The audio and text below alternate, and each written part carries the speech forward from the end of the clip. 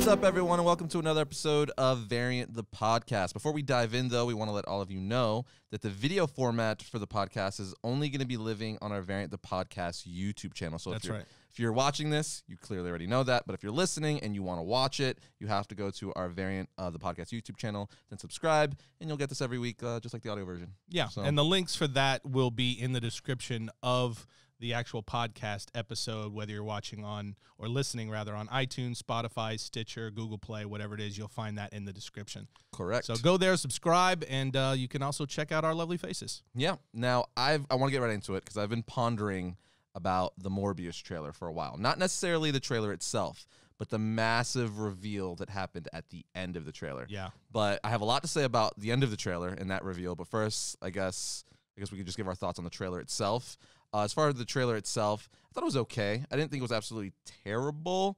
I mean, you know, I like the Morbius character. Um, I didn't necessarily think he, you know, should get a standalone movie. Although I do like vampire Mhm. movies and stuff.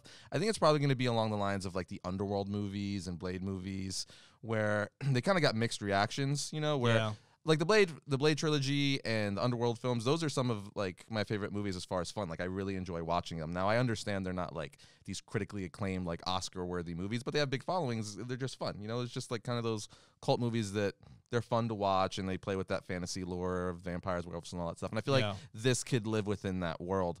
Uh, as far as as the trailer itself, I think you know they're doing a good job following the Morbius storyline from the comic books and the cartoons, where basically you know Michael has a disease, a blood disease, and he's trying to fix it, and in that he turns into a vampire. Right. So they're you know they're going along with that. I think he looks cool too. At the end, you see a brief glimpse of what he looks like f- fully uh, mutated, and he looks just like the comic books and just like the '90s uh, animated series for Spider-Man. That's Yeah. actually the Morbius I like the most. That's where I would see him the most because I was obsessed with that that series. But the end of the trailer, we freaking get Michael Keaton, Vulture from Spider-Man Homecoming, talking to Morbius for like three seconds, confirming that somehow, some way, the, the MCU or at least the Spider-Man characters from the MCU are within the Sony live action universe yeah, and I just there's just so many possibilities. Like, is is it now full on? Like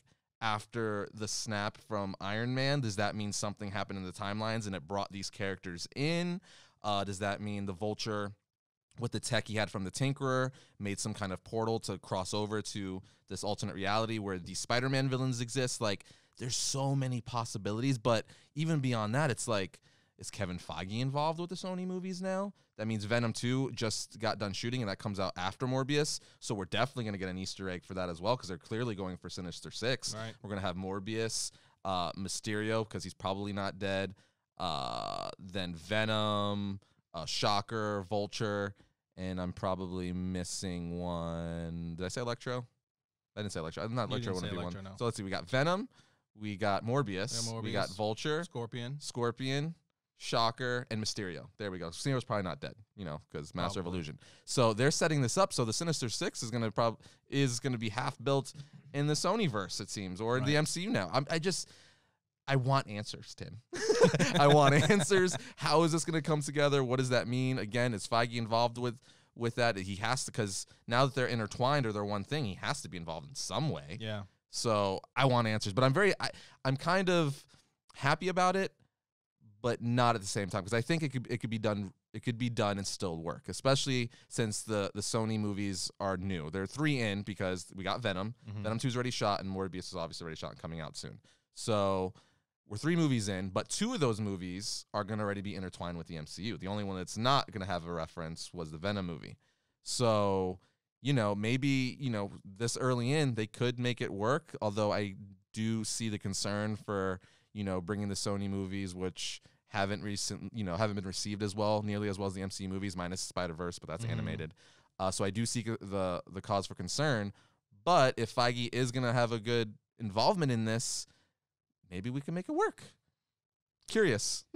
Yeah, I mean, I would say, like for me, from my vantage point, I mean, one of the biggest takeaways of that for me, you know, is that it clearly confirmed that Sony really had Disney over a barrel mm-hmm. uh, with the Spider-Man hostage situation, um, and Disney had to concede uh, probably more than they wanted to, uh, to get Spider-Man back in the fold for the MCU, and th- that because I would be extremely surprised, extremely surprised if that was in the works and planned prior to the in, the whole Spider-Man ordeal. Right. Um, I, I, my bet would be that that happened after the fact, and that was part of the arrangement.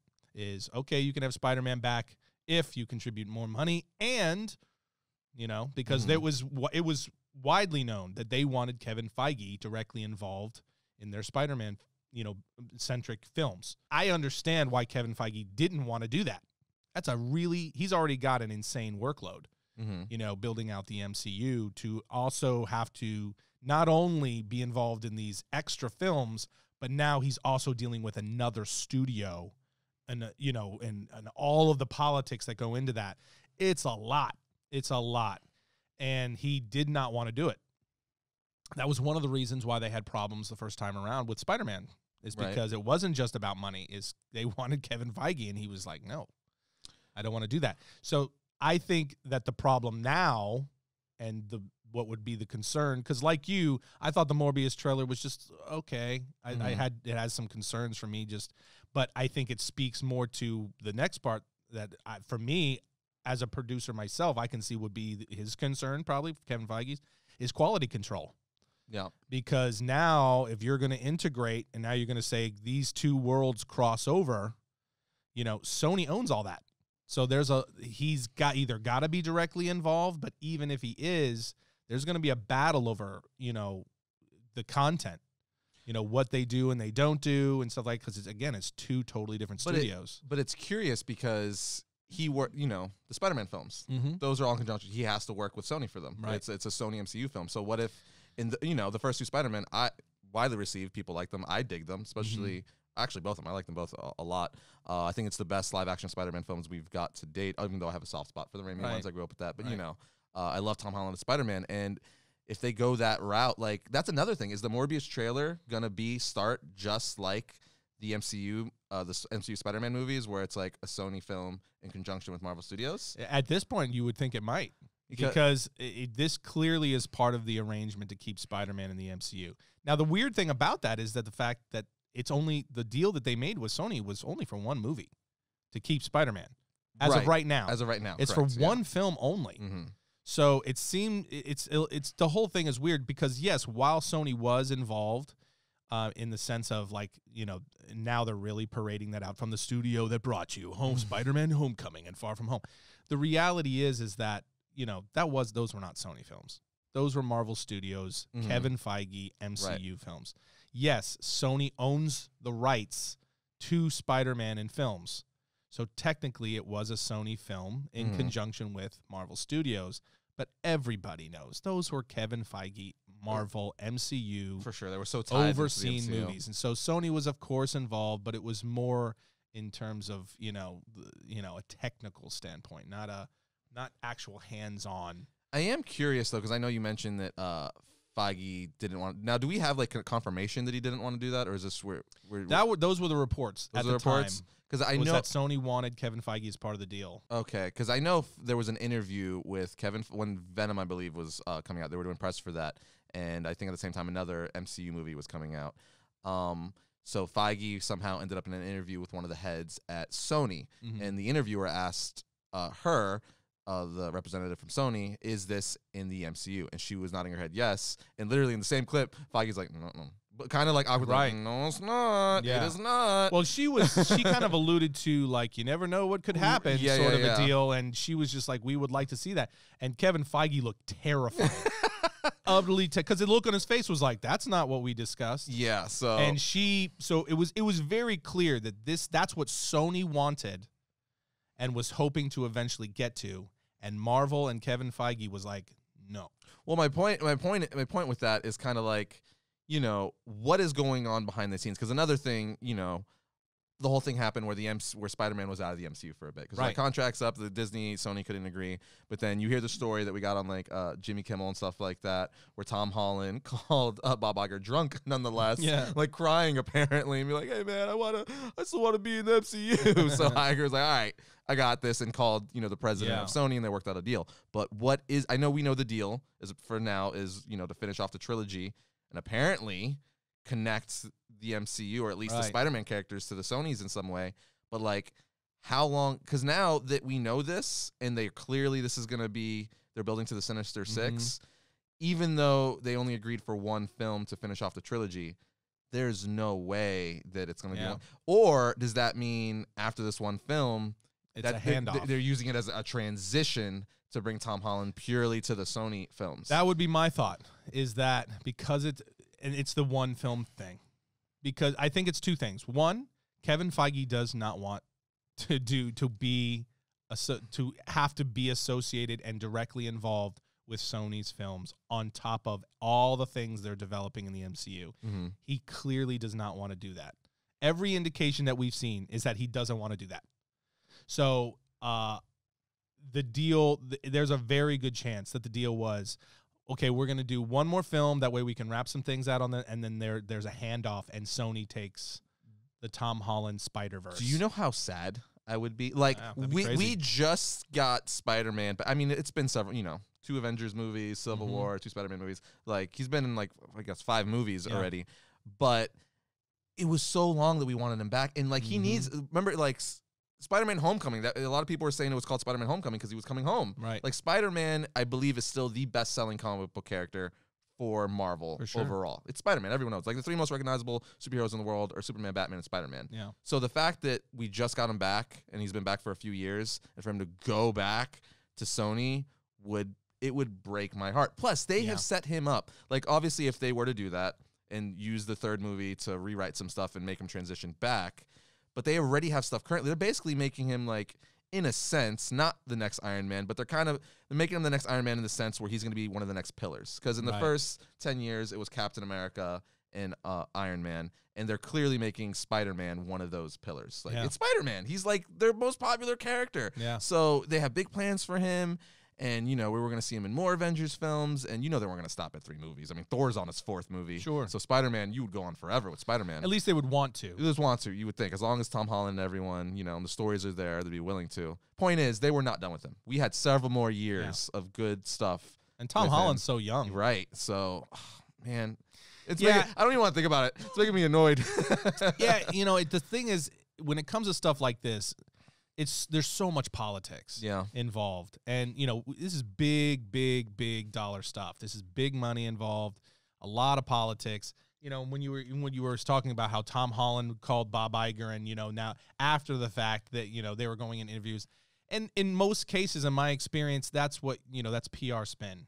That you're putting a, a, a happy face on an unpleasant situation. That right. you know there was some arguing back and forth and some uh, you know it wasn't a, a super fun situation they worked out and so they're putting a fun happy face to clean up after the fact Mm-hmm. um, and i'm sure stuff like that did happen but in all likelihood what really happened was you know bob Iger sat down with his direct reports they looked at the numbers they looked at how this this deal you know losing spider-man was going to affect the bottom line the mcu their dollar amounts you know in, in releases going forward Right. uh, not just in feature film, but also on their Disney Plus plans and blah blah blah blah blah. Um, and he didn't like the numbers that he got back, and they said, "Okay, we got to make this happen." Right. You know, that's more than likely what actually happened. It's just so annoying that like you know it's a business first and foremost. Yeah, Obviously, it's a all business, everything right. you know you know the Marvel comics, all of these things are businesses. The only reason they exist is because we give them money for their product. Yeah. But it's annoying that us fans have to always suffer because of the you know all the corporate greed and politics that go behind the scenes. Not Yeah. always. We get a lot. We are spoiled. I don't want to make it Sure, seem. We yeah, get a that's lot, what I was about of to say. A lot, like, a lot eh. of good stuff. But you know, in situations like this where it's like mommy and daddy are bickering, we're like the kid in the middle, like, but. But can you just make it work out though? like you know yeah, what I mean? I guess I don't look at it that way because you know, at the end of the day, I don't care what it is. There's business involved, and there is realities to that business. You know, it's Mhm. like do they make a lot of money for sure, Mhm. and these these are big, big. But these things also cost a lot of money. For sure. and it takes a lot of people's time and effort and it's like you know if you have two companies that aren't seeing eye to eye Yeah. and they're seeing the approach very vastly different, you know, then you those two should not be working together. Now, if they can find a compromise and a middle ground, which it seems like Disney and Sony did on some Mhm. level, we, you know, we're not going to know what the extent of that is probably till after this next Spider-Man movie, and we find out whether they're going to renew again or it's just going to be Yeah. there is going to be that handoff we just talked about. Um, but you know, it's it's best even for the content. I would say if there's going to be a bunch of you know conflict you know that's just going to directly impact the actual content itself anyway and we're going to wind up getting bad films or messed up stories because everybody's you know going to want to try and interfere and have their fingerprint Well, that's what I'm saying. That's the that conflict there is what you know. I feel like us fans get caught in the middle a lot of where it's Mhm. like, cause no, I want to, you know, everyone wants their fingerprint and their stamp on thing. I want Yeah. this version, that version, and you know, especially with characters this iconic, yeah everyone wants to be the guy that's like, I made that, I, you know, that's my mark. That's Yeah. why that Spider-Man or that character is awesome. And then Yeah. it's like a lot of the times, you know. It's just like, well, now we get nothing for a few years. Again, I don't want to sound uh, sound like we get awesome stuff. The Yeah. MCU, we, we are in the golden age of comic books, or Yeah. movies, video games. But you know, if, you, if we're gonna be critical, which we are, we're talking about these characters and stuff like that. That's what we do. Uh, it does feel like that sometimes. So, and it's you know, again, that's not to say that we don't get amazing stuff all the times. But when you're really getting critical about it, it's like, oh man, just work it out for us. you know, i think really what boils down to like for me it's just it always lands back at the regrettable moments of marvel because they didn't realize what they had in terms of cinematic from properties. the beginning, right? Right. So and they they license these things to so many different studios. Yeah.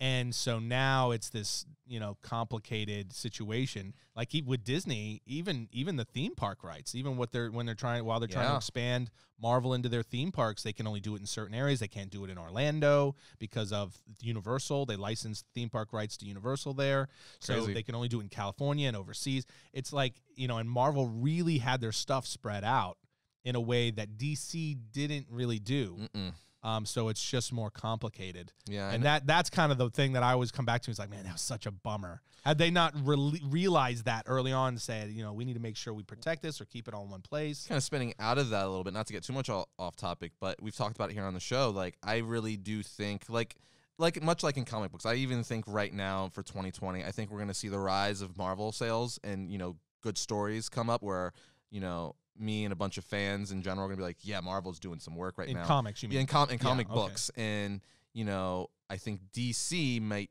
dip a little bit. I think because every every publisher and every business they have their years, like their building years, so to speak. I think DC is going to kind of be in a rebuilding year right now, where they're kind of trying to reset and do things. Where Marvel's like in full swing. You know, they got. Uh, Donny Cates, you know Mhm. Hickman uh, with the X Men and all these things, Immortal Hulk with Al Ewing and all this stuff like firing at tens. Everyone's Right. loving it.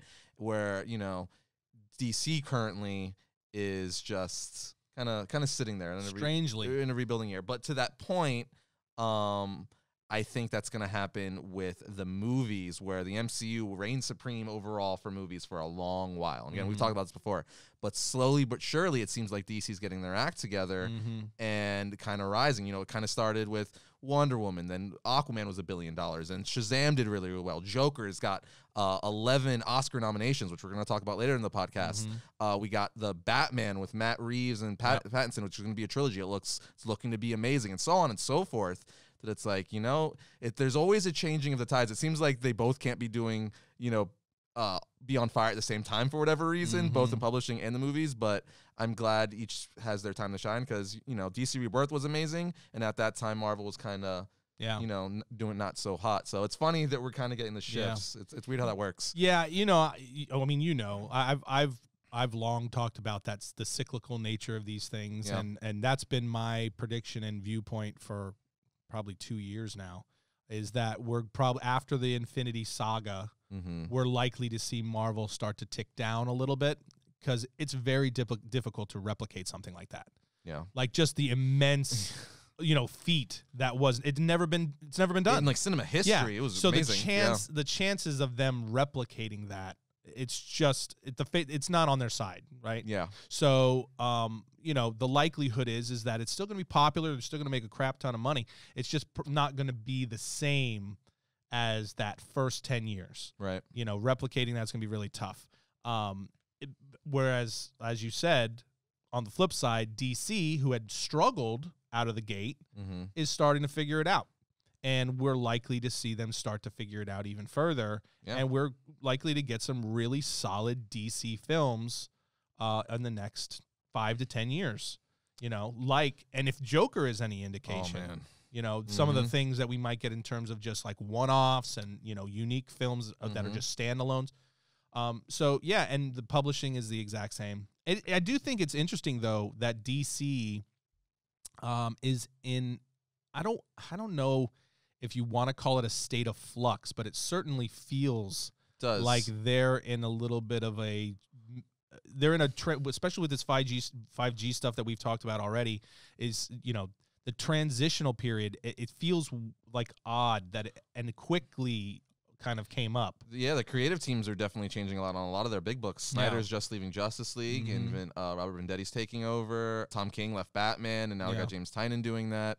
Tom Taylor's doing Suicide Squad now. right Uh, so yeah, there's de- they're definitely in a big changing or shifting gears kind of process. yeah i don't know if you want to call it upheaval Yeah, uh, but it, it does in some ways it does feel like a total I will revamp. say San Diego Comic Con this year is probably gonna have some massive Yeah. announcements for DC. Agreed. I think so. We'll probably learn a little more Agreed. about that because we say it all the time. Uh, where there's smoke, there's fire. Where you see all these rumors and stuff coming out, is like yeah something's gonna happen. but I do very much feel like Marvel, like you said, is is is starting to really get it, you know, get into a new gear mm-hmm. when it comes to comics, yeah, and DC is kind of shifting down, trying to figure some stuff some stuff out. Which again, kind of felt like it came out of nowhere for me. which selfishly, as uh, a reader who you know can't spend like five hundred dollars a month on comic books, it's like, oh well, if you know that's not doing so hot, I guess I'll throw more of my money on all this stuff that's good over here. You know what I mean? So I guess it kind of works out in an odd way. half half empty or half full. How you want to look at it? But Uh, going back to the Morbius trailer, Yeah. which is where we began, um, I, I think that we both agree that the Morbius trailer it looks in and of itself it looks, eh, okay, yeah, looks okay. It has some things that was like okay, that could be cool. it's like the Joker's a vampire now. Yeah, yeah, right.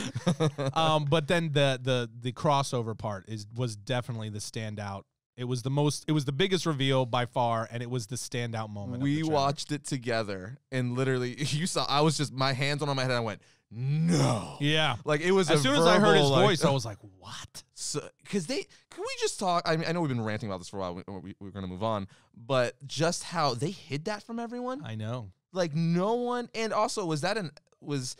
I know we got that little Easter egg, but is that even going to be a big part of the movie, or is that just going to be like you know he's in it for like two minutes, just as almost as like that one scene we see in the trailer is just going to play out a little more. Can you imagine if that's literally the after credits, oh God. post credit scene? and they just gave it away up. I mean, but that's gonna. It would be smart though. I Mhm. kind of see. I didn't really think about this, but it's very smart on Sony's part because that's gonna let all the fans know that this is an MCU thing. It's connected to the MCU, so you Mhm. need to see this movie. And the one thing we didn't mention is that you also see Spider Man spray Yes. painted on a wall in the trailer. Correct. and it says murderer, which is a direct tie-in to Far From Home Mhm, with Mysterio, yep. and the big reveal at the end of Far From Home where he, you know, Peter Parker gets outed. Although oddly enough, I, I I'm a nerd, obviously. No. and I screenshotted it and I pull, zoomed it in. Mhm. It is the Sam Raimi Spider-Man. Right. Right. You see the, the spider symbol, Mhm. the exact same, and even the silver webbing because that Yeah. was a big thing with you know he had that gloss to the webbing. Yeah. So I'm wondering if they did that just because you know deal didn't get worked out. So like, well, we have the rights to Sam Sam Raimi Spider-Man, and we could just spin it and say it was graffiti art, so it's not identical. You know what I mean? I wonder if that was like.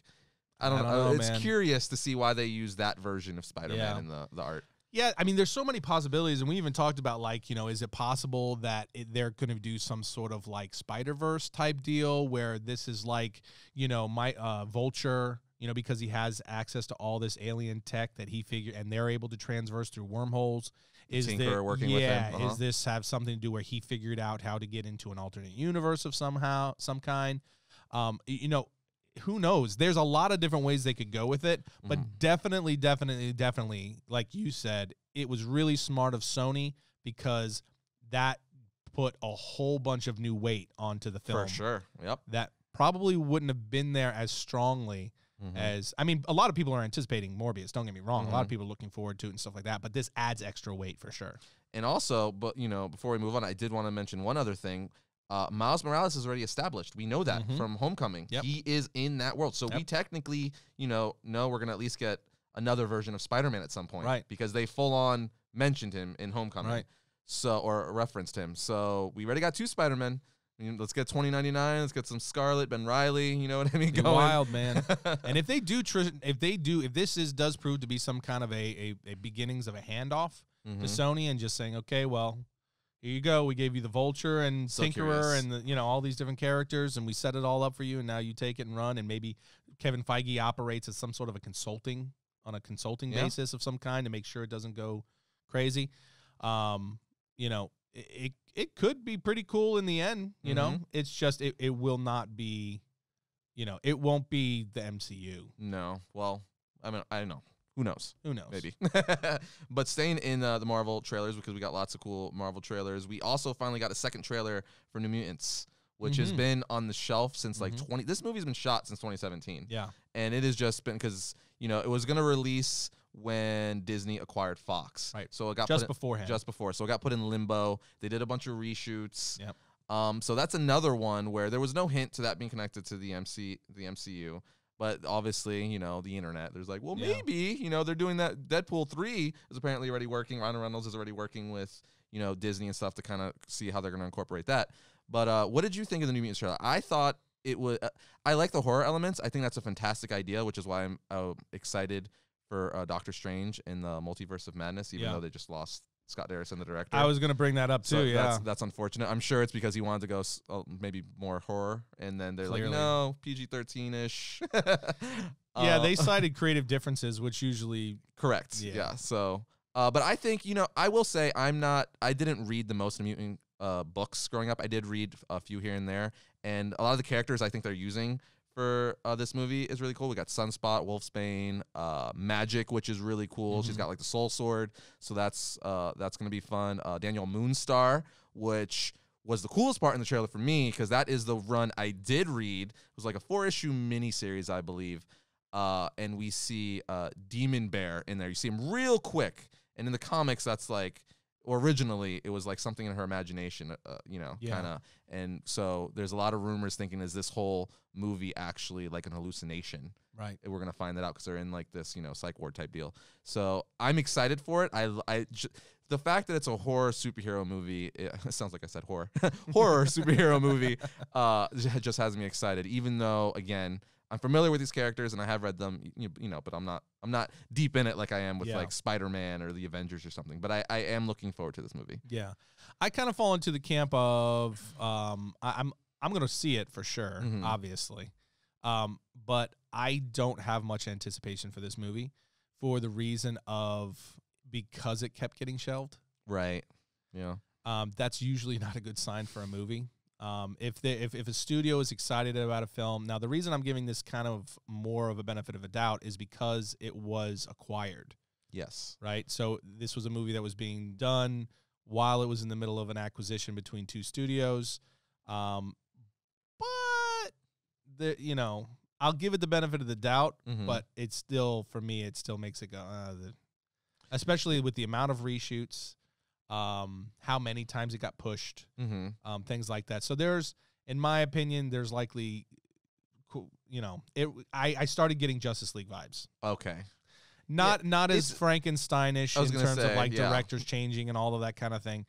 But you know the you know when you see this kind of stuff happen in a movie, it's usually because there's there's story issues and um. So I'm I'm gonna see it, and I thought this trailer did look better. Mm-hmm. You know, um, but you know I'm already not a huge horror fan. Okay. Yeah, that's true. Yeah, you said you that know before, that. So, but I do really like that this is a different take. Mm-hmm. So when they first announced that they were doing this movie, I was like, "Oh, that could be really cool, like a psychological thriller, Yeah. Yeah. you know, wrapped around mutants.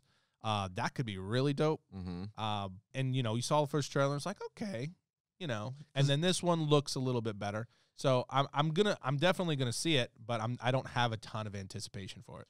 Yeah, and I know everyone was saying like the Phoenix, uh, you know, X Men Phoenix uh, was like the last X Men movie. This Mhm. is technically the last Fox X Men because although Yeah. they did reshoots and it, it may be somewhat of a Frankenstein, you know, the majority of this film is still going to be what Fox intended, I would imagine. I would have to imagine Yeah. at least on some level. like the base of it, right? Yeah. So, but I'm curious to see is this because now that it is under the Disney banner, even though you know it's not in the MCU that we're aware of, hmm uh, how they're gonna make it a one and done if that's the fact. I'm, you know what I mean? I feel like this is going to be kind of a Joker, okay, where they're going to push this out there. This was just like a side story. It's Right. not going to be directly connected to anything, and then see how the audience responds to it. unless they blow our blow our minds like the Morbius trailer, I- right? yeah, I'm hoping. I'm that's my hope is that my lack of anticipation actually works to my favor, Mm-hmm. and it comes out and it's actually pretty good, and then I'm like, oh wow, that was that was much better than I thought. Yeah, Um, you know, because the difference would be though too, like Disney is Fox now; they own Fox, so there Mhm. wouldn't be no two studios going there. Like they would have full. Yep. Do have full control over this now. They they Yeah. bought them. They're like Yeah. your hours now. but one more trailer before we get into some other news. We got the birds, the second Birds of Prey trailer. yes, Birds of, now, that alone says a lot. Um, everyone knows I've been very vocal on Variant over the years that Harley Quinn is my favorite female comic book character. For sure. I love me some Harley Quinn because again. Say it all the time. I'm a broken freaking record. Batman the animated series got me the comic books. I love it dearly, and she was created in that. Mhm. And that because of that, you know, I was just like, oh yeah, her and the Joker just had a good dynamic. You know, well, you know, it was a crazy psychotic dynamic, but it was a fun dynamic, especially for the show and the way that you know they fought. And you didn't like her, but she loved him. Uh, I just like her as a character. She's goofy, she's fun, she's lethal, and I'm just a Harley Quinn fan. So I really, really wanted this movie to be good because I liked Margot Robbie Mhm. as uh, Harley Quinn. I know Suicide Squad is considered by many to be the worst DCE movie to date. Um, I said it before though. I although I agree that it's not you know fantastic by any means, I still had fun with it because. I, I'm a sucker for that stuff with you know when Batman was chasing them in Gotham Right, City. sure. It's like we never got to see that before. So just even though you know the movie as a whole wasn't like great, I'm like that was still really cool to see like you know Batman chasing Joker and Harley Quinn in the Batmobile, and then uh, then other little beats here and there. And I thought the soundtrack too was really really good. I still Yeah. listen to that soundtrack. Anyway, That's fun. I was hoping they were going to change it a little bit, but it very much seems like they're just following the Suicide Squad tone, vibe, and everything. 100%. I thought they were going to soft boot it a little bit Yeah. because you know, but they're still even referencing Leto, uh, Leto's Joker, and you know, in the trailer we see that she's saying she broke up with him, so now this is her like teaming up with a posse Right. to to fight Black Mask and stuff. And overall, I'm just I'm like kind of a little disappointed, and it's and it's making me sad because I love Harley Quinn, and I you know I'm a fan of Huntress and Black Canary too, and it's just like, is this not gonna be good? Is this gonna let me down? you know? Well, I think if I'm going to make a prediction on that, I'm going to say yes. yeah. Uh, okay. So to be fair, to be fair, because I don't like the bash movies. Right. Uh, to be fair, uh, they clearly kind of had a course with Harley Quinn when they set out on Suicide Squad. Mm-hmm. So there was a tone already established. Right. It's very hard to undo that, and you know, with the same actress. Right. If they had recast Harley Quinn, you know, okay, you can get, but they kept the same Harley Quinn, so they had to maintain some level of that tone. Right. Um, what surprised me and has surprised me about this film is they took the tone of Suicide Squad and I feel like they ramped it to a 10. Yeah. And it's like really lots of glitter. Yeah. It's the And color it- palette. Yeah, So I feel like this movie is probably going to, you know, uh, there's going to be some that are going to like, oh, that's so fun and really enjoy it. Mm-hmm. And then there's going to be a lot of people like, what on earth is this? So I think it's good. This is very much going to fall into the category of movie of like, you either love this movie or you hate this movie's guts. Yeah. There's not going to be much in between. Yeah, it's it's it's just so sad because again, like they even in the latest trailer they even reference Bruce Wayne. She references Bruce Wayne Yeah. at the the trailer. You know, she's got uh, her hyena in there too. So they're bringing all these elements where I'm like, yes, yes, yes, and it's very much they're using you know the Jimmy Palmiotti, Amanda Conner, Yeah. Harley Quinn from the comics, Yep. uh, and kind of taking pulling a lot of aspects from there where she's you know like. uh, What do they call it? Like roller jamming or something like that? Yeah. you know, Yeah. just on the roller skates with the helmet and beating people up with her mallet Roller derby. roller derby yeah so you know it is it's probably gonna let me down but like the, the i'm trying to hold hope even though i know that again i don't want to bash it Yeah. i just want it to be good and the other interesting thing for me is how many characters they're introducing also. There's a, quite a few. with this film. You know, just Black Mask alone, Mm-hmm. you know, but then you've also got Black Canary in Mhm. there. You've got these characters in it, and you're just like, it, it, I don't know, for, for them to be introducing this many characters into this movie, it really makes, kind of sets you back to like, where's DC going? Yeah, I don't know. I mean, there is there's definitely a big ensemble. You got uh, Renee Montoya, Huntress, Black Canary, Cassandra Cain, which, as we know, you know, Batgirl and or Orphan. So that's a which he her alone is a massive character. Mhm. Like especially in recent DC Rebirth continuity, they made Orphan and Cassandra like Cain a massive staple of the Bat family. So I don't know, and it always brings up the question too: Where is Matt Reeves' Batman movie going? Are we because we Yeah. we do know uh, that uh, the Flash director, uh, forget his name, uh, Andy, Andy, Machete? Is it Mus- Machete? Muschietti, Muschietti, Muschietti. okay. I remembered it because spaghetti. Andy Muschietti uh, did confirm that his Flash movie, whenever it comes out, 2022 or what have you, uh, is going to be still loosely based on the Flashpoint movie. Right. So the DCEU, with that, that's their scapegoat. They could reset, do whatever they want Sure. Flash could f up the timelines, and now Pattinson is looks Batman looks like Pattinson because of this. Right. He's younger now because of this. And But that's after the Batman comes out. it is that is true. That's post That the is Batman. true. So I I don't know, man. I don't know what, what's going on. Yeah, it's it's just really interesting because they're still carrying on with all of the characters that in were initiated in the Snyder verse. Wonder Woman's got a movie this yeah, year. Wonder Aquaman's getting a sequel. Shazam. Shazam's getting a sequel, which Shazam wasn't part of Snyder's films. So. I mean, Superman was in it. Was in it at the end. It tied in. Yes, but we never actually saw him, so they could still kind of work around that. Oh, you mean as far as his face goes? Correct. Oh, okay. yeah, I you just saw you're his body. Right, right, right. Uh, so th- they could definitely work around that, but everything else is still contained within the Snyderverse. Mhm. Um, you know, obviously minus the Joker and now the upcoming the Batman film. right. So it's it's it's still making me go like I'm not sure which direction. So uh, while they're making better movies, you know, as far as how they all tie together and what the continuity is going to be, what the tones are going to be, is this going to be Harley Quinn's last film or is Margot Robbie going to maintain the role and they're going to continue this? There's just still so many questions when it comes to DC. It's crazy. And So- like I said, now they're introducing all these new characters in the Harley Quinn film. And it's like I can't imagine they're all going to be one and done.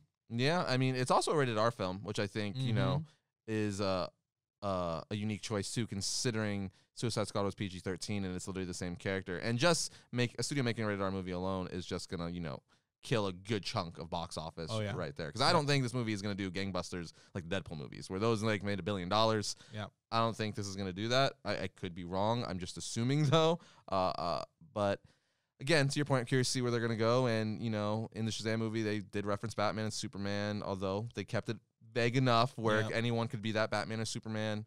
Uh, there's lots of rumbles in the pipeline of you know we're getting Flash still. Uh, people are still talking about a Nightwing movie. So So fascinating. yeah, I, I don't know where it's gonna go. It's just oh, there's just so much happening, which is hilarious Mm, because yeah. over the weekend we were talking about how yeah there has wasn't much going on. It's been pretty quiet, Right, right. and then it was like come Monday morning it was like an explosion. Oh, we're also getting there. Were Tom King is actually uh, co-writing the New Gods movie. Actually, that Yes, we're getting. so yes, that's uh-huh. we're getting a New Gods movie, which that you would think it would be you know weird if not is gonna introduce Darkseid because Yeah, Dar- New God. You know what I mean? yeah. So very very curious. And it's like, are they going to be setting some new timeline with that? I don't know. I So many questions when it comes to DC. Yeah, so many questions. but you caught up on Watchmen. You finished it. I did. You did. I so- did. I, I said I would, and I I was. I'm a man of my word. so I gave my spoiler-free thoughts last uh, podcast, and Yeah. you said you would caught up in man of your word. man of my word. So what did you? Well, since they kind of already know what I think. now we can talk freely. I Yeah, guess, What did you think? We can talk a little freely now. Um. Well, for starters, I I I, I understand your tone that you had Mhm. when we spoke about it last time. Um. The so you know I said I think after the I think it was the fourth or fifth episode Mm-hmm. I, I had told you that I was already kind of feeling a vibe, and even after we watched the first uh, episode of the of the the series, my opinion I kind of you know was a little bit like I just hope that they aren't using Watchmen and certain things to just really unload in a very heavy-handed way on certain political topics. Right. So that was kind of a concern from the beginning. Um, and what I will say about this, I'm gonna well, I'm gonna say this. I don't want to talk about it too much for sure. Yeah, because Yeah. for for that reason Mhm. because altogether this was a very political series. very yeah. Uh, is a very not just you know everything has opinions in it and messages of one way or another based on the writer and the creators of the film. That's normal. Mm-hmm. This was a very heavy-handed political series, Mm-hmm. and so I don't want to get too much into it because that's not what we do here. Mm-hmm. Um, I will say that um, it is well made. For sure. Yeah. Performance that continued on that, that continued. Um, whether you you know agree with their points or whatever, the writing was structurally it was it was good. Um, there was it had definitely had some really cool, interesting moments as you you had mentioned Mm-hmm. uh, last time in, in terms of how it relates to the comics. mm-hmm. Like it's incredible how you know how true they stayed to some original things, but they did get away from that toward the end Mm-hmm. which in certain ways was kind of like, "Uh, okay, that was an interesting way to go. I guess the most in the end, you were kind of just, for me, I am, I don't subscribe to the style of storytelling, filmmaking where uh, that is soapboxy, like really heavy handed soapboxy messaging Right. where it like hits you over the head with a hammer. I adhere to kind of the more where it's embedded within a cleverly crafted story, and then you let the audience extract that themselves and come away with it. Where it asks a question. Yes, because I'm more drawn to that stuff too, where it's like this this is we're proposing you an idea or you know a situation. What do you think? Right. What would you do? Yeah, I'm very much about. Uh, I like to make the audience think. Yep. I like, st- for me personally, when I'm watching them, I like stuff that makes me think, and and a question is posed, and I have to like work that out. But it's Right. done in such a way where there's a question and a possible answer, and you have to try to piece that together. I just think it's that is a better way of not treating your audience as if a they're dumb Mm-hmm. um, but also not condescending to them because you in any way you know i guess the main the main thing is like when you do something like what they did with the watchmen what you end up doing is something akin to uh, or a better quality version of some of these cr- christian or religious based films Right. that you see right you end up preaching to the choir Yeah. you're not reaching anyone right you're Mm. you're not affecting anyone positively if you are you're anyone who doesn't adhere to whatever your worldview is that's making that that creator mm-hmm. that person is instantaneously turned off they're not listening to you and they're probably going to stop watching Right. right Well, this show was very divisive. Like it, it, incredibly it was very Yeah. uh 50-50 and like I said the last podcast uh the series as a whole again very well done. Uh Mhm. you know acting For was sure. great. You cannot say anything about the actual, you know, making and production of the show. Uh but I w- did end 50-50 where where I, you know, half of me really liked the series, half of me was like, "Eh." But like I'm to be fair, I'm kind of like that with all the Watchmen stuff that was done after the fact of the original Alan Moore Dave Right. Gibbons novel yeah uh, because when DC did the Before Watchmen, it very you know they did it around the New Fifty Two, and it very much felt like a money grab, Yeah. in a sense, where they're just like, well, let's give all this backstory and detail to characters that really didn't need it. I mean, sure, it's oh, I love you know I'm a continuity junkie, like Yeah, for sure. I was telling you yesterday actually that I love like uh, visual dictionaries and stuff where Mhm. everything has meaning and stuff. I, Yeah. I just love diving into detail like that, which is why I guess I like comics so much. But for certain characters and stuff, I feel like you don't need that, especially if a story is done to just a one and done. It's like we were just talking about where like here's what if heroes are like this and they're not perfect. This is the question. This is what would happen the end. One and done. Mhm. You know, you know what I mean? Because that's kind of what Watchmen is. It's kind of asks a question like, you know, or it says that heroes are just like us. Yeah. You know, some of them are evil still. They have bad thoughts. They're messed up. They're not. They're not Superman. You know what I mean? They're not right. perfect. And I didn't think you necessarily, although cool, some of the before Watchmen stuff. I was like, okay, it's cool to know where like you know how Owlman started, Doctor Manhattan get some side story stuff. I was like, but I don't, I didn't really need it that much, and I kind of feel like that with this, where where it's like. I didn't necessarily like where they went with certain things with Doctor Manhattan, where I was Yeah. like, well, you know, spoilers for the end of the series, where you know he Yeah. uh, he kind of handed off the Doctor Manhattan. He passed the torch of the Doctor Manhattan Yes. mantle uh, to his wife or Mhm. girlfriend. I don't know. Were they? It's his wife. It was his wife. Yeah, Yeah, his his wife. And you know, now she, if they were to do a second season, would be the new Doctor Manhattan. You know what I Mhm. mean? Or at least they alluded to that. So there were certain things like that where you know I was like, it's fine, but I'm like, I don't know. It's like I kind of it's Doctor Manhattan. You know what I mean? I want him to be Doctor Manhattan. Yeah. So there was a lot of little stuff like that as far as just the comic book person in me was like, but Even the Do we need that? reasoning. the reasoning for it too. Yeah, yeah, yeah. Well, I'm saying in the sense of like how he did, it, Or like, why- the- like how they killed Doctor Manhattan or captured him. right. right? How he they're sitting there, they're trying to capture him, and he's literally going through and just smoking them. Now he's not just he's not just all powerful; he's also omnipresent, right? So he could have literally snapped his fingers, and everyone that was there controlling that device while he was in the house, he could have snapped them into non-existence. But he did give them reason. They did. He did give reason for that. Remember, he kept saying it's because I don't want to change time. He's like, I know, I'm not going to change. This is how it has to be. He was very much like, let it, let fate do what it needs to do. Essentially, you Yeah. know. so, but it, that to my point, that's why I was like, but Doctor Manhattan was kind of, you know, especially in the comics, was he sure he fought for America, and you know, Mhm. in the comics, Yeah. that was the reason why they won. Uh, U.S. won the Vietnam War. But it's like he was very much he left because he's like screw Earthlings. I don't want anything to do with this. He's Mhm. selfish. You know, he a guy who could snap his fingers and literally cure cancer, bring someone back from the dead was like, yeah, I'm going to Mars. you Yeah. know what I mean? So they kind of made. I guess I see where they kind of wanted to make him more human, yeah, but I did like you know this because in that transformation you would no longer be human. You are this. You are this being of matter energy. Yeah. You are a god now, and I kind of like that he was detached from humanity. And I, I see what Lindelof's trying to do, kind of I guess bring him full circle. But again, with this Watchmen sequels and prequels, I'm kind of like I, just just the the middle one. yeah. Yeah, I kind of and I and I agree with you um in the sense of like, you know, the original Watchmen was set to be one thing. Eh, You know, even in the original Watchmen uh story, uh you know, Dr. Manhattan, he has this very apathetic approach seemingly. See, but yeah. really what it is is they say, you know, the the whole idea is that, you know, he is outside of time in a way, right?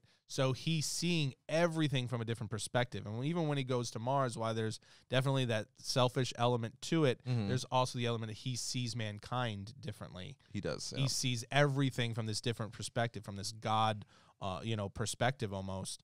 And so he sees like that man is basically self-destructive and all these things. There's nothing that you could do. You either have to eliminate them or create something brand new. for sure. Um, and that's kind of how he sees. So everything is just this very like matter of fact approach. Even in even in this series where He's he's dealing with things and they're.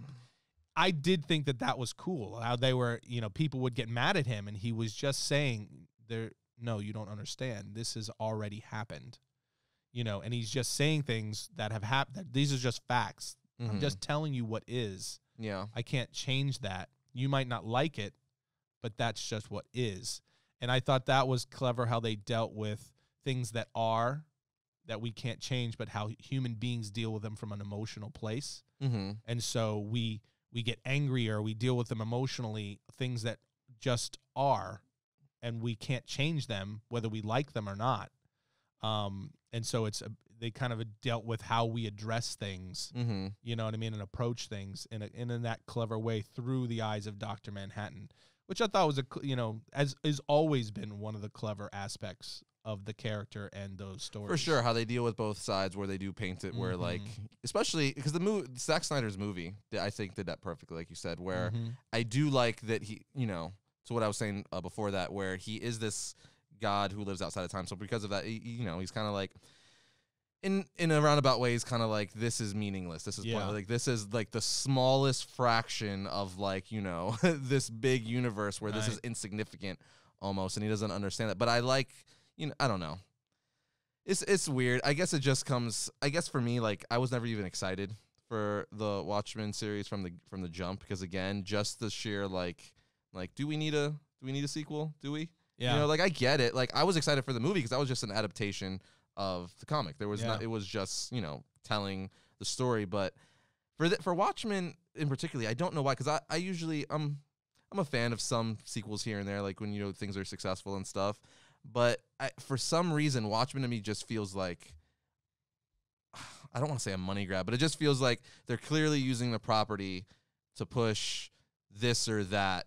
And since everyone likes this property, they know they'll watch it. yeah. And that's kind of how I feel. See, I never got the the vibe that this was a money grab. I genuinely feel that the creators of this series had some things they wanted to say, and they used the Watchmen characters and world See, that's what to makes do that. That's what, that, but that's the, kind of what I'm saying though. That's kind of the, like I don't like when you use these already established characters or properties mm-hmm. to tell a story or theme or something that seems, you know, preachy or something.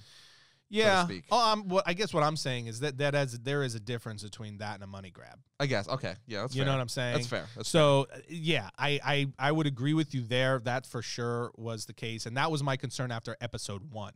Is Mhm. that that was going to be because again there were points made in the series that I agree with. Mhm. You know, and that you know again it goes back to the preaching to the choir thing, Mhm. right? You have people that are going to just turn this off. Yep. And then you have the other side, the people that adhere to whatever points that they're making, and they're just gonna be like, yeah. and it's like, is are you able to be effective in that? And that's just again approach to storytelling, approach to making a point that you Mhm. may have or whatever. Um, I will say, and I said this to you, I do feel like the Watchmen, like when I ended the series, I said to my wife, I feel like this series is could be a case study for why our politics are as jacked up and angry as they are. Mhm. You know, uh, how everything is very like so in your face Right. Right. Right. you know, and very like um because there wa- you know whether you agree or you disagree, there's zero uh uh, you know arguing. This this series uh, you know for the points that they were making Mhm. right or wrong it definitely treated anybody who doesn't adhere to whatever worldview or ideology they were espousing um as like not just uh wrong but like the devil. It's it was it was demonizing and condescending and and you know in a lot of ways. So it's like you you wind up go, falling into the category of like is that a good approach do you like the film whether you like the series or not probably determines where you line, line up ideologically and worldview wise and you know Yeah. because as a watchman from a watchman perspective you know you kind of have to just talk about you end up that's why i said i didn't really want to talk i don't really want to talk about it that much and i know you kind of feel that way too Mhm. because you can't really even talk about it that much from a comic book standpoint. You can't. No. I mean, You can, can, but, but, it was all wrapped around this other thing. for sure. Yeah. The way they the way they molded it and stuff like that. Yeah. And it, It just know, became like the skin right. for you know you know a kind of a political comment and social commentary. I'm just curious to see if we're gonna get a season two because it's very much like I know HBO wants to do it. Lindelof Right. said they want to do it. He currently did say on a podcast though that he doesn't have a story at this point in time. I would be. Sh- I that, I said it to you. I don't know how they'll do a second season. But if you know if it did good in ratings, HBO would be like, oh, you don't want to write it? We'll get another writer. Yeah. You know what I mean? Like, And I haven't looked. Do you know if it's been if it, it's been had a uh, a pos- it, it's been positive for HBO if it did well? Uh, I, I know. I, even know. looked. Rating wise, it did. It did pretty well. I know as far as reception from fans, it's very 50-50. It's Yeah. been pretty split, and that's from the jump. Right. So, um, yeah. But Watchmen is again, to be fair. While I know people will be like, but Watchmen is very political. It's all about you know the comedian, like Yes. you know, Ag- uh, I totally understand and you know, it's about the Vietnam War, and it's like yes, for sure. mm-hmm. But like, I don't know. It's just, it's just one of those things. That is that is and that is totally fair Right. because that is 100% true watchmen was always for sure. a social like commentary Nixon and yeah stuff. we've talked yeah. about that uh, from the bit from the beginning it has absolutely always been a social commentary and a political commentary on some degree this just took that to like a level 10 i thought I don't know. I for, for for me, I I just I'm more. I like to in storytelling to ask questions more Yes. and deal on the more like happy side of things Mhm. because we know everything's but we know people are evil we know people are bad i don't think any you know if someone's arguing that you're an idiot because there is tons of evil in this world we know that yeah. but i think you know just the state we've been in uh, things have been so volatile and stuff lately. I just like I want happy things. Like I want stuff that's like, oh, there is good in the world. Yeah. There's lots of bad, but there's definitely more good because if there, you know, if there Mhm. wasn't uh, more good than bad, you couldn't go outside without getting Yeah. shanked. So I like stuff like that, and even in personal stuff that I'm doing, I always try to write, you know, to like, no, there's hope. That's why I love, you know, Superman stuff like that. There's Yeah. there was always hope, and as Yeah. much bad and you know as many like rapists and racists and evil people out there, Mhm. you're always the good is always going to outweigh the bad, and I think that's a message that needs to be pushed now more than ever. I couldn't agree more. I, I think that is actually one of the biggest things that we're missing right now in our dialogue. Just Mhm. e- not even just in our storytelling. I think it's story. Our storytelling is a reflection of how we're talking to and treating each other. Yeah. You know what I'm saying? Um, and just our approach to people we might disagree with. Yeah. Um, we we got to find our way back just generally, and then again now we're getting into social. Yeah, we but, but you know we've got to find our way back you know in our storytelling but also just in general our approach to to each other and people we we don't see eye to eye with on everything hmm uh, to just being um, being more fair minded having the ability to recognize hey we're not perfect either Right. and approach people in, a- in a kinder more humble and in a more optimistic way knowing that like you said uh, and we've actually talked about many times is that in the end if we can if we can keep a level head Mm-hmm.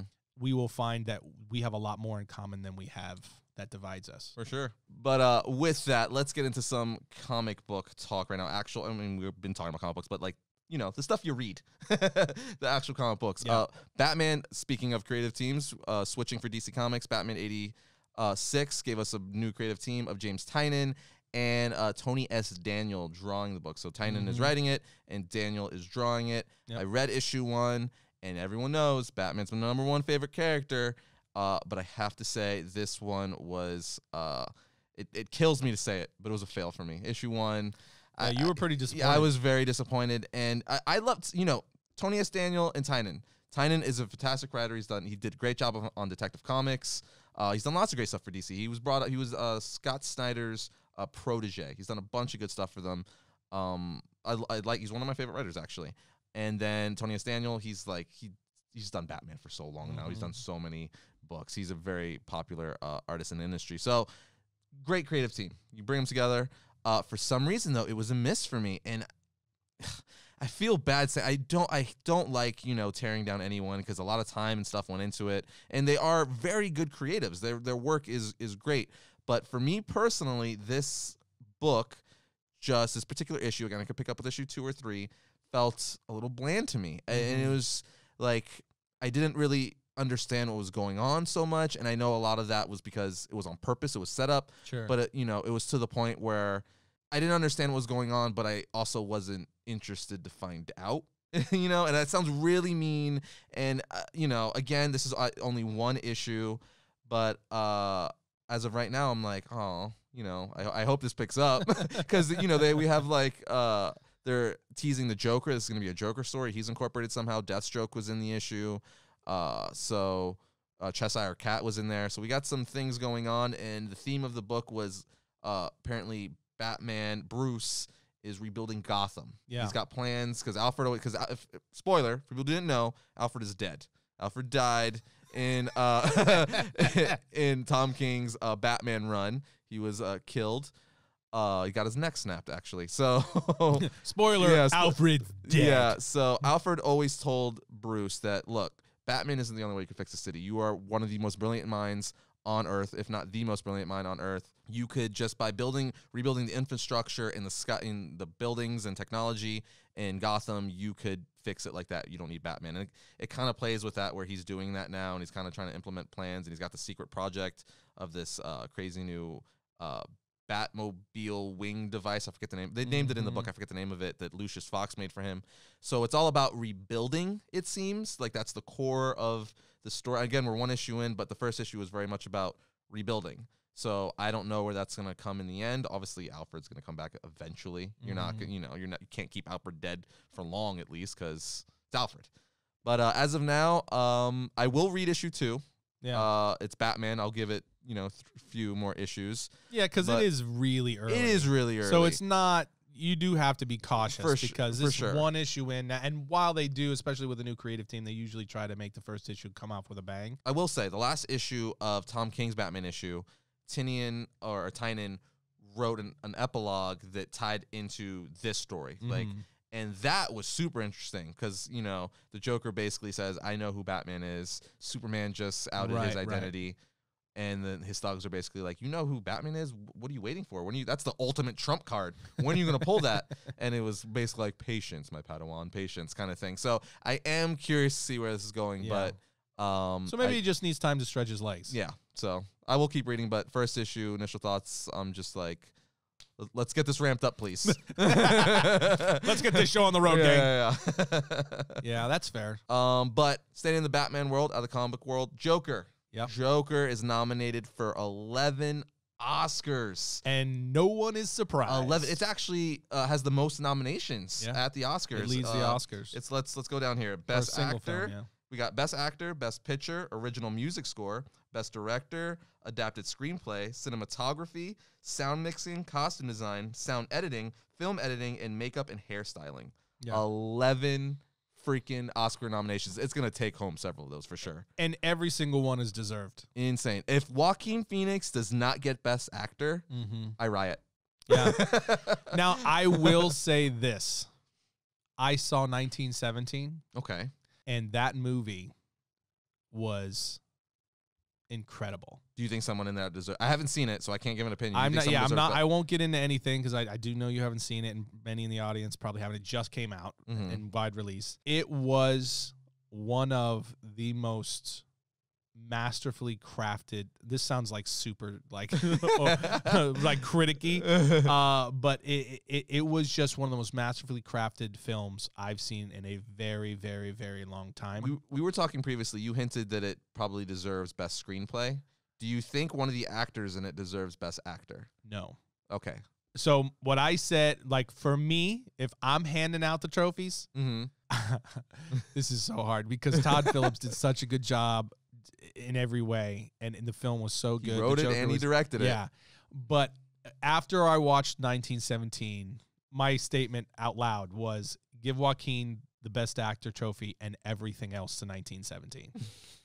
that 1917 uh it's obviously not a book film or anything like that but it was what they did with that movie this movie from start to finish there's only one clear cut in the entire film I did hear it was shot to feel like Yes, one constant one shot. continuous yeah.